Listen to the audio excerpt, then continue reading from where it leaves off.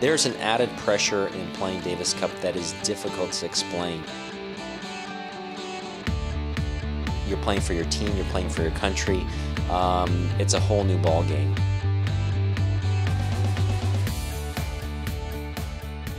You know, 1990 was uh, was a good year for for us. Um, you know, I played uh, uh, with Andre and uh, Rick Leach and Jim Pugh, and uh, we had a very tough tie in in Austria uh, in the semifinals. And you know, I came out and and, and played against uh, Skoff in that final match, and he was just you know just on fire. You know, just the crowd was behind him, and you know, lost the first two sets, and um, able to squeak out the uh, the third set, and then uh, you know able to, to get through uh, uh the fourth set and the fifth set. Uh, I actually was cramping in the last the last game just from the tension.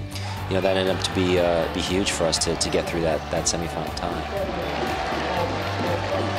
Even though the Austrian crowd in semis was against me, the atmosphere was still pretty electric. Um, obviously, it's nice to be able to have you know the crowd behind you. Uh, you know, in St. Petersburg, it was great to have the crowd behind you.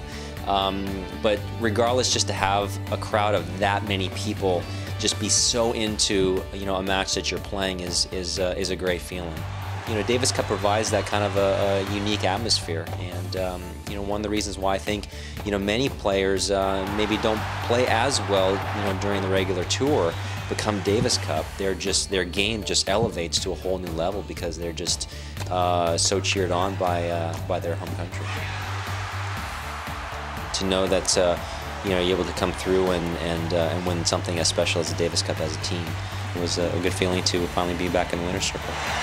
USA Davis Cup champions for us to uh, to play against the Swedes in in, uh, in, Gothenburg was, was very very tough. You know, unfortunately, Pete got hurt in that first uh, that first rubber, and um, you know, it kind of set the stage for, for the rest of the uh, of the tie. Um, you know, Magnus had played some great tennis against Pete all year.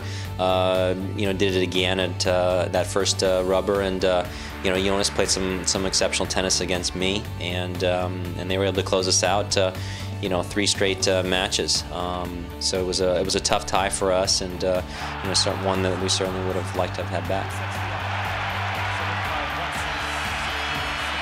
Davis Cup is very special because you know throughout every other time of the year, um, we're just competing for ourselves. You know between Andre and Pete and and Jim Courier, I mean we've known each other for such a long time. But I think for us to come out and kind of come out and play together on a team, it was it was almost to some degree kind of um, kind of a good feeling because it's kind of like, hey, I don't have to I don't have to fight against you this week. You know, just you know, you're on my team and we can work together, and uh, it, it, brings a different kind of uh, element, I think, to uh, to the sport of tennis. And um, you know, I think one reason why, uh, in many many aspects, you know, Davis Cup is embraced the, in the way that it is.